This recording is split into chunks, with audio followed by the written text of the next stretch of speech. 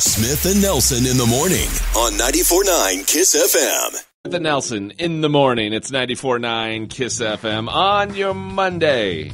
A few minutes ago, I was saying, yeah, you kind of hang your head on a Monday and go, oh, geez, the weekend's over. Right. You're pouting a little bit, back to it.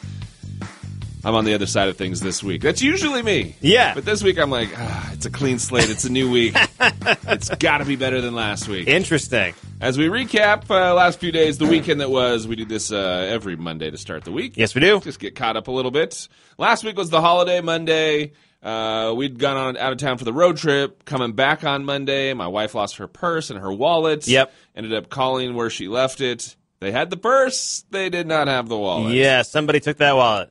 So I spent the day uh, canceling credit cards and debit cards and anything else. And then uh, it was a fiasco last week trying to figure out how to get her a new license because Right. the one she lost is an out of state license. And so they uh, they deem that as you just don't have one. You don't know how to drive. Yeah. You've never seen a car before. you got to go take the written test and the driving test. Oh, boy. And uh, I think right now they were scheduling like uh, the first the first one you could get into. I think it was the written test was like July or something. Yeah. Was- this stuff was booked out. Um, so that was a that was a crazy battle last week. Friday, I was here. My wife, uh, my wife actually works just across the parking lot here. Um, so I ran to get her something from the store real quick, about a mile away. Came back. As I got out of my car, I heard kind of like a, and I was like, like, "Is that my fan? That seems weird." Like, Yeah. I only went a mile, and it's not that hot out. Plus, it doesn't really sound like my fan normally does. Right. My fan's having an issue. Like that's weird. So I went inside. About three, four minutes later, my wife goes, "Is your car on?" And I said, I, "No." Turned it off when I came in. She But said- she could hear that sound. she couldn't hear it, but somebody had come into the door and said, "Hey, whose car is smoking out there?" Oh no! And she sarcastically, kind of, kind of laughing, said, "Oh, if it's a white one, it might be my husband's." And the, and the other person goes, "It is white." And she, my, my wife was like, "Oh." She said to me, "Is your car on?" Someone says it's smoking out there. So I Oh, go geez. outside. There's, it's definitely something going on. You could just like. When you get close enough, you're just like, "Whew, okay, something's burning. Something's something's not right here." Yeah. I pop the hood, little. You know, I mean, it's not like it's just billowing smoke or anything. But you can like smell something for sure. Oh yeah, something's. But I'm trying. I'm looking in there. I don't see anything smoky. I don't see any. You know, nothing too crazy. And I think, well, I'll just make a run for it. I'll try. And, I'll just try and get home. Key in the ignition. Right. Turn it. Here's the sound it made. That was the sound. That was the sound. Yeah. Just, okay. no. No Just click. something, No click. No Just nothing. didn't do anything? The radio doesn't come on. Nothing works. Oh man. So I had to have it towed to the shop on Friday night, Ah, which, jeez. which was the uh, yeah, well, we can be there in forty five minutes to an hour. And I went, mm-hmm, we'll see about that. Yeah. Which, of course, yeah, about more like an hour and a half later. And then towed it to the shop and left it there, and then back home. So, yeah, I think we ended up getting home about 7.30, 8 o'clock Jeez. uh, on Friday night. And it was just the, the fiasco of dealing with that.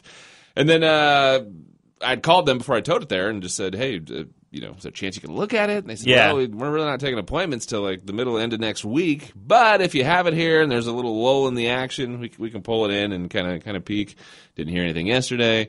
Finally, uh, it was like five five o'clock last night. I called just to be like, hey, did anybody get a chance to take a look, or you know, is there a date this week that I know you can? And so they did kind of start to take a look, and uh, I don't know, they're, they got to see if they can find a piece, and I don't know, a, wi- a wire grounded out, and then it burnt through, and Man. there's no connection from the battery to this, and uh, so don't really know where it all stands right now because they got to they got to replace that wire to then check other things. So just a, Yeah. just a cluster. So uh, the, the the week started with the uh, the loss of the wallet and the and the uh, the purse, Right. And then it ended with the car being towed to the shop and then not having uh, not having my vehicle. So So did you? Uh, so you took your wife's car to work? I'm guessing today. no, I took one of our station vehicles. Oh really? And because she has to use it today. Well, she can't drive legally, right? Uh, well, she can't, but but she did have a she did have a uh, a, a police officer that was at her work on Friday. And Oh, she, really? She said like, "Hey, my, my purse got stolen, my wall got stolen. I don't have a license. Yeah. uh, I'm trying to get one, but I you know I'm going through these Figuring hoops. that out, you yeah. know. What, what what happens if I get pulled over? And she kind of got the you know, eh, not the end of the world. You just have to kind of prove that you have, or you know, that you're Yeah. legal, legal driver type deal. And okay, okay, so yeah, so she's still on the road. Okay, well that's good. But that Yeah. was the so not much went along with the weekend except for not having a vehicle, wondering how much it's going to cost, wondering when I'll get it back. dealing with all that stuff. Also feeling like, man, this is just the worst week ever. What's going on? Why do I have such bad luck? So new slate. It's a Monday, and we uh, we start fresh. There you go. By comparison, my weekend much more chill. I would say. Uh, no, my, my girlfriend and I were out uh, doing some Pride celebration this weekend. We went to the uh, the body painting at Monks on Friday night, uh, which was pretty cool. And then uh, Saturday night, uh, stopped by the block party for a little bit. We were trying to go to the parade, but my girlfriend had work like right up until when the parade started, and then had to sleep like right afterwards. so we ended up uh, going to the block party kind of later, around like eight o'clock. Went to the after party at Conflux, and then went to karaoke at All Souls, Cool. and uh, yeah, had some good times there. Nice. Uh, had some fun, and then yeah, that was that was pretty much the weekend. Otherwise, my I, I do have a, a, a sort of similar, not not nearly as bad as everything you guys have been dealing with, but uh, I lost my passport. And uh, I'm actually trying to get my uh, license renewed. I have an out-of-state license, and I need to get like a Montana license. Mine's going to expire in you're a few weeks The, yeah, you're racing the clock. racing the clock a little bit, and uh, I had an appointment to do it today. And uh, last night I went to oh, got to go get my passport so I can bring it there and use it for the thing, and uh, can't find my passport anywhere. Don't know where it is. because you, now you're you're in the situation where you're facing the same thing. If yours expires, I gotta take the test It's an out-of-state license, and they'll say, "Oh, sorry, you don't." Yeah, yeah, exactly. So I got to uh, try to avoid that situation. So now I got to have my mom uh, send my birth certificate to me and you know do all that kind of stuff. But uh, yeah, I have no like it's one of those things where I was I was searching for like two hours last night looking for my passport. Wow. Like I was going through like every single crevice of my house. I th- I think what happened is like last time I needed it was like around the time I moved into my new place, and it must have just gotten like thrown into some box at some you point. start scooping stuff out. Like, ah, yeah, put this here. Yeah, but I, but I could have sworn it was like right in my car. You know, I thought it was like in the same compartment it always is. you check the same place like four times. Exactly. Yeah. Maybe, So maybe I just didn't see it when I checked here before. yeah. So I was up. I was up until midnight last night looking for it, and then eventually just like gave up and went to bed. Oh, bed. man. So we'll see what happens there. That's a bummer. All right, there you go. A little recap. Smith and Nelson on your Monday, the weekend that was with KYSS. 94.9 KYSS FM. Time to Say what they tweet, what they do. It's what's making news in the world of country music. This is the Music City 60 on 94.9 KYSS FM. Yes, it is your Music City 60, and a country music star is uh, spending a couple nights in jail. Rascal Flatts' is Joe Don Rooney was in court last week pleading guilty on last year's DUI arrest when he crashed into the line of trees in Williamson County, Tennessee, south of Nashville. He'll be spending two days in jail, has to report this Wednesday at 3 p.m. Uh, it was a first time DUI plea, which is a misdemeanor, and that comes up with uh, 11 months and 29 days of jail. The judge suspended pretty much everything except for two days. It's so weird how that works. yeah. Yeah, you got uh, 11 months. Yeah, you can just do two days, call it good. I, I really like Life is a Highway. Two days is fine. Uh, Jason Aldean in an interview saying his kids are just starting to kind of figure out that he's famous. He says, I don't think they've 100% figured it out yet, but they're starting to catch on that their daddy is a little different from other daddies. Yeah. He says, My only hope is they stay as perfect and as innocent as they are now. good, good luck, buddy. Yeah, Good see how luck. that goes. Uh, Alan Jackson has pulled out of performing at this year's CMA Fest. Uh, no reason was given, but everyone kind of speculating that it's related to his nerve condition. Yeah. Uh, according to reports, he is scheduled to do uh, his Knoxville, Tennessee show on June 25th. On the flip side, Brothers Osborne, Old Dominion, and Deana Carter are some of the acts that have been added to the performance lineup at CMA Fest. All right, Scotty McCreery doing an interview and talking about being on American Idol and how it was pressure packed and fun and just something he's always going to remember. Scotty's quote says, It was such a defining moment and such a core memory for me. Even when I'm hopefully 85, Lord willing, I'll be thinking back to that moment, just being on stage for the finale. But even before that, all the memories getting to work with people like Steven Tyler, Jennifer Lopez, Beyonce. To be 17 and doing that was pretty amazing. That is. Uh, yeah, I'm thinking about what I was doing when I was 17. it wasn't that. Not quite as excited as hanging out with Steven Tyler, Jennifer Lopez, and Beyonce. Yeah, man, that's a that's not a not a bad way to get your break in the music biz. that's either. pretty solid. You're on TV show, you're seeing how everything works behind the scenes, you're dealing with the biggest stars in the industry. Pretty crazy. All right, there you go.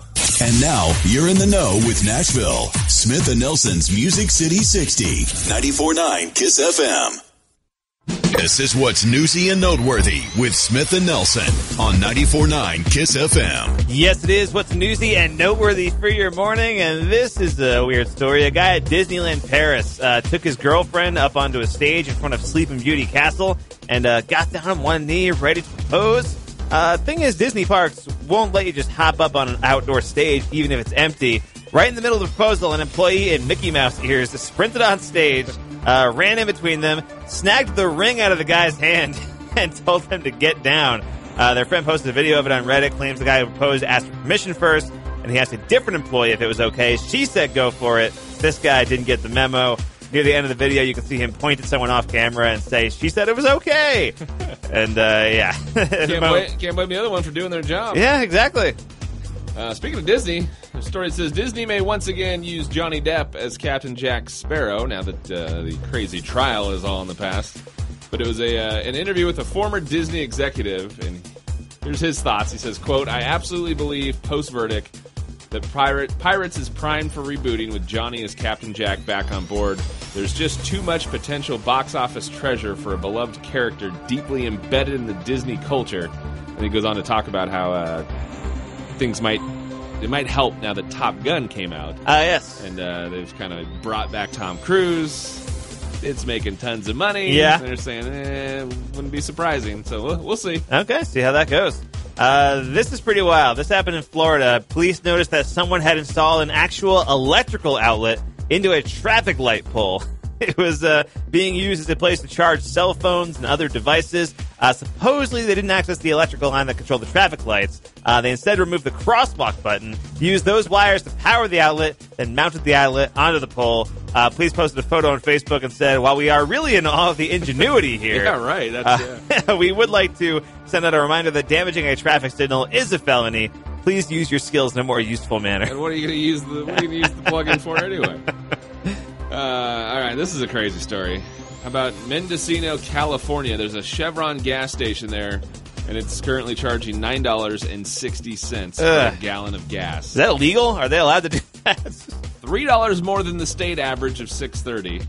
Four dollars and seventy eight cents higher than the national average of Man. four eighty two. Uh, the gas station is the only one in town, and the owner of the gas station says she recently paid fifty thousand dollars for an almost nine thousand dollar. Uh, sorry, fifty thousand dollars for an almost nine thousand gallon delivery of gas. Okay. In March, that same amount of gas cost thirty thousand dollars. Jeez. She says she'll be lucky if she's going to be able to make it the year with all the fees and the regulations Yeah. her her her final thought. She says Mendocino won't have a gas station next year if it keeps going the way it's going. That's crazy. Uh, not great. Uh, Mariah Carey's All I Want for Christmas Is You. Of course, we're talking about that in June right now. Yeah, why not? Uh, it's almost 30 years old. Somebody finally got around to suing her over it.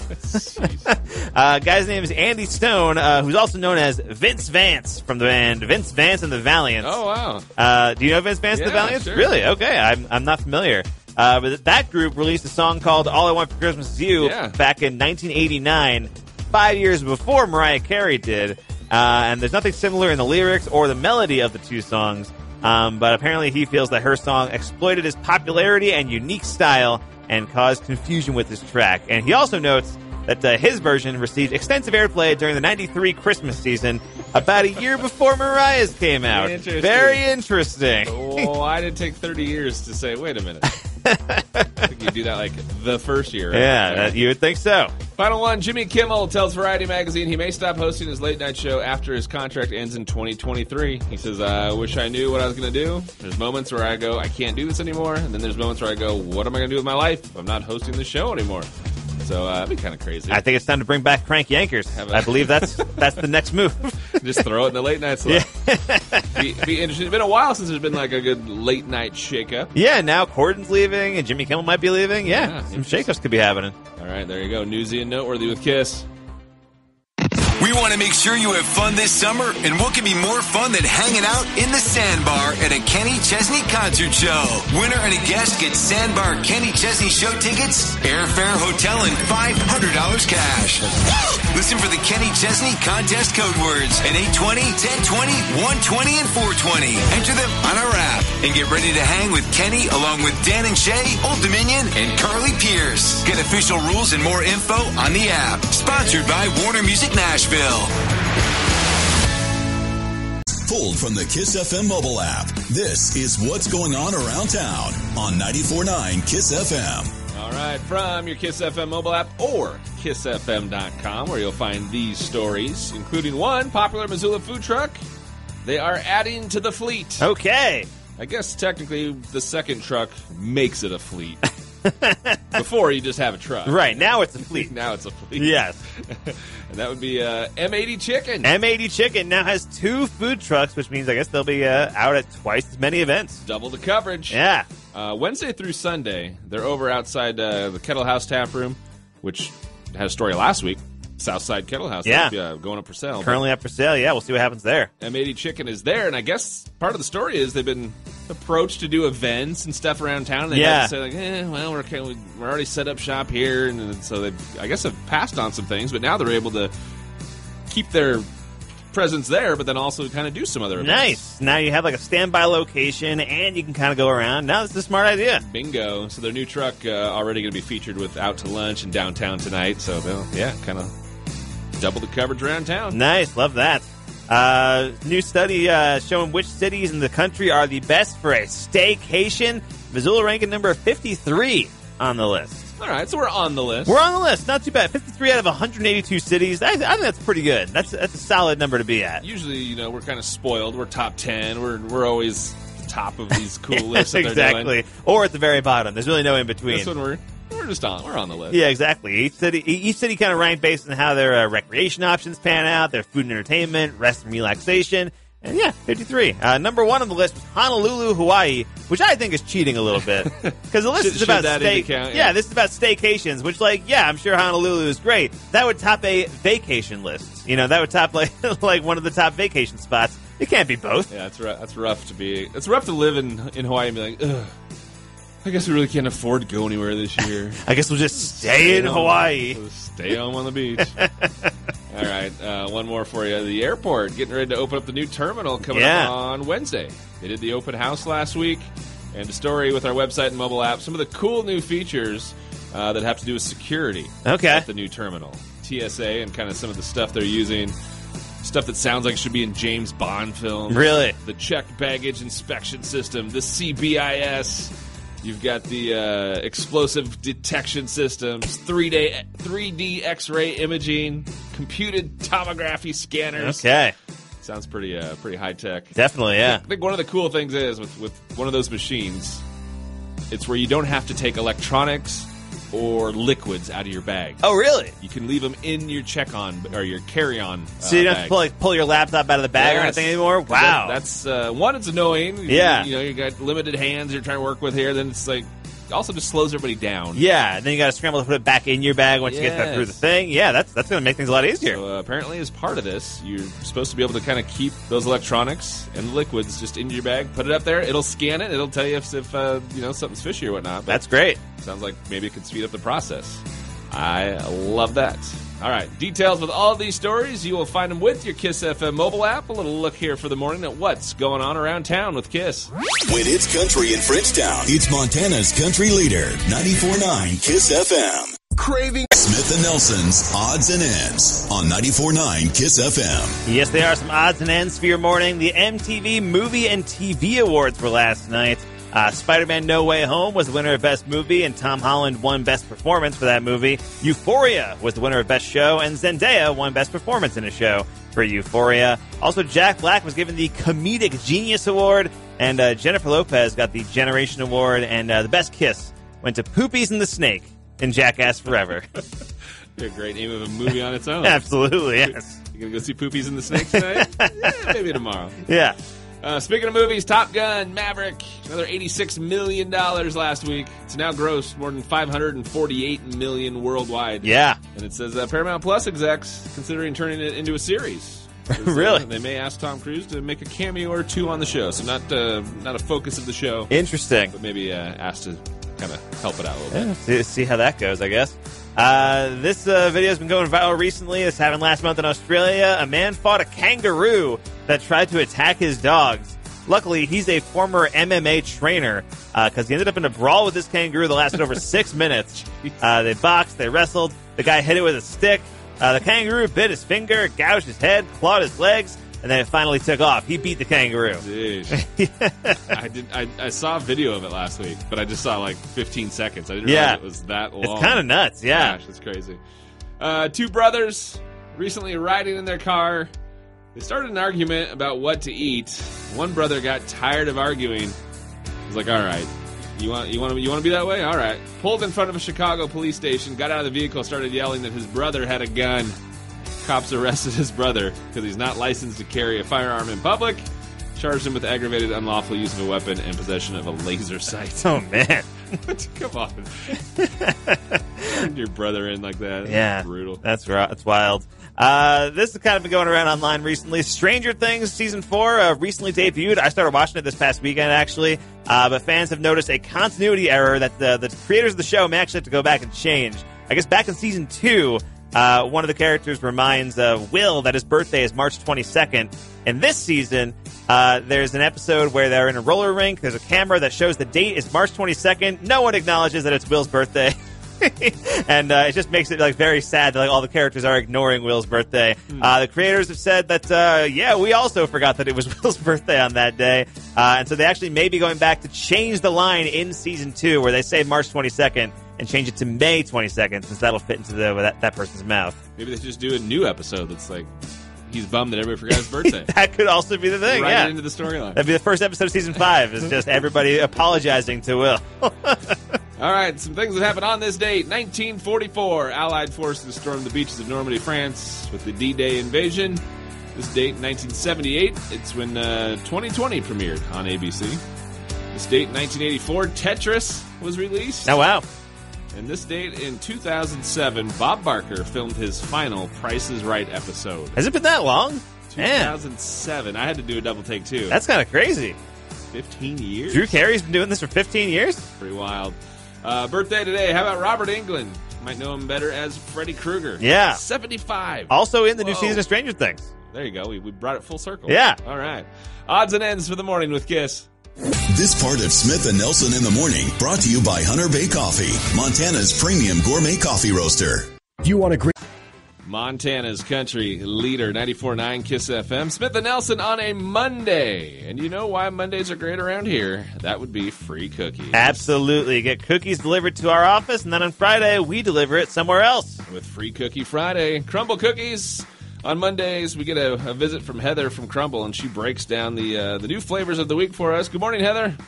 Good morning, guys. This is such a good week full of cookies. It is. Uh, there's definitely there's definitely at least one that I don't recognize. As far Yeah. as being a newbie, but uh, we'll we'll let you we'll let you do the honors. Let me do the honors. Okay, well, we'll start out with a super fan favorite. Um, is our Snickerdoodle cupcake, and so we're just taking the perfect Snickerdoodle cookie, which everybody loves, and then we put our cream cheese frosting on top of that, and Mm. it's warm, melty, over the top, cinnamon sugar. It's one of my faves. Yeah. Cream cheese frosting, cinnamon sugar. I mean, what else do you want? Come on now. Yeah, that, that beautiful crumble cookies thing of combining two things to make an even better thing with snickerdoodles and cupcakes together at last. Mm. Snickerdoodle cupcake is a super fan favorite. Everybody loves that one. Uh, our chilled cookie for the week. This one is something that's super yummy and just kind of reminds you of a summertime treat. But we've got our orange creamsicle. Yeah. So last week we had some lemons. This week we've got some orange.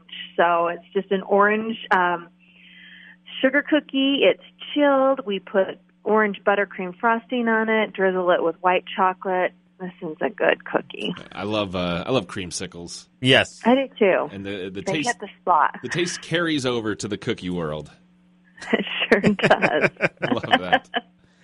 It does. And then Grandma with her our oatmeal cookie. I don't know why I have to always say Grandma and oatmeal. I mean, my grandma never fed me oatmeal, but I, I don't know why I do that. So sorry. That You could be associate it with grandmas despite not having it with your own grandma. oatmeal. But I, feel, I know. I, feel like that's I feel like that's a normal thing. though. Yeah, yeah, I think so. Well, it could be everybody's pet peeve, and now that they know that my grandma didn't feed me oatmeal, it's going to bug them forever. so, but this one we take it um, up an, a notch. We put uh, a delicious vanilla ch- cream cheese glaze over the top of this cookie. And when I say we put it over the top, we literally drench it in the vanilla cream cheese glaze. It's and Yeah, it just it's It is completely covered, cookie yeah. completely covered, soaks down into that cookie. So every bite has that vanilla glaze all the way through it. This I love this iced oatmeal cookie. All right, next time we do uh, next time we do an oatmeal cookie, we're both gonna be like, "Your grandma didn't even serve that." Inauthentic. Grandma didn't give you oatmeal. um, well, she did give me buttermilk pancakes, go. but um, um, and so that's our next cookie, buttermilk pancake. This one is super fun. It's it's one of those ones where we take just a really everyday thing, make it into a cookie, and it just kind of blows your mind. So the buttermilk pancake cookie, we um, have a really yummy, syrupy kind of glaze that goes on top of it, and then our little dollop of buttercream um, frosting on top. Just it looks just like a little baby pancake. I'm gonna, Yeah. I'm gonna try it. I'm gonna try this one this week with my four year old because she is just like a, a little pancake. Uh, kind of like, that's all she wants. Yeah. My, my wife, like she, she, she, these little mini microwave pancakes she eats. My wife made Yep. like this big breakfast yesterday with eggs and bacon inside of it. and Put it in Didn't breakfast, want any of that. breakfast burrito. She took one bite and she's like, "Can I have mini pancakes?" I have mini pancakes. And you're just like, yep. I'm gonna get her. I'm gonna get her the uh, pancake cookie this week. There you go. I think it'll blow her All mind. right, we'll we'll see if we'll see if it passes the test. Just like Grandma used to do. just like grandma. Um, and then the new cookie on the menu this week, and I'm excited for it. One, it looks so cool, like the color contrast. I love it. Yeah. Um, it is our lemon blackberry. So this is served warm. It's a lemony cookie. It has sweet blackberry in it, lem- poppy seeds, and then they put um, and we have let's see, blackberry cream cheese frosting on top, and then just a nice scoop of blackberry jam Just right there on the top, right in the center. right on the top, like Cookie frosting jam. cookie frosting jam. yeah, exactly. I love so with just yummy tart flavors, I'm excited for this All one. right. Iced oatmeal, lemon blackberry, got the orange creamsicle, buttermilk pancake, the snickerdoodle cupcake, and the milk chocolate chip. Whew. Always milk chocolate, yeah. Great assortment this week. Absolutely.